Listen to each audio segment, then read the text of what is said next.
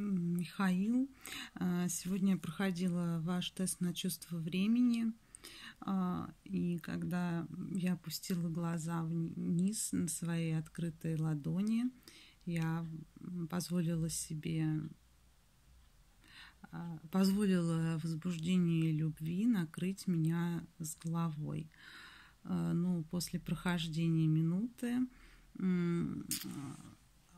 хочу сказать, что я больше почувствовала возбуждение, чем любовь. А где-то 60% возбуждения, 40% любви.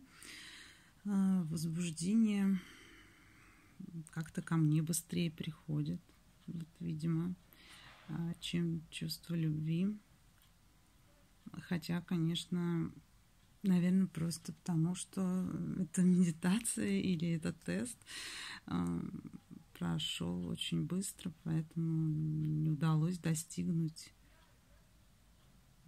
такого стопроцентного накрытия и любви, и возбуждения одновременно. Вот, спасибо.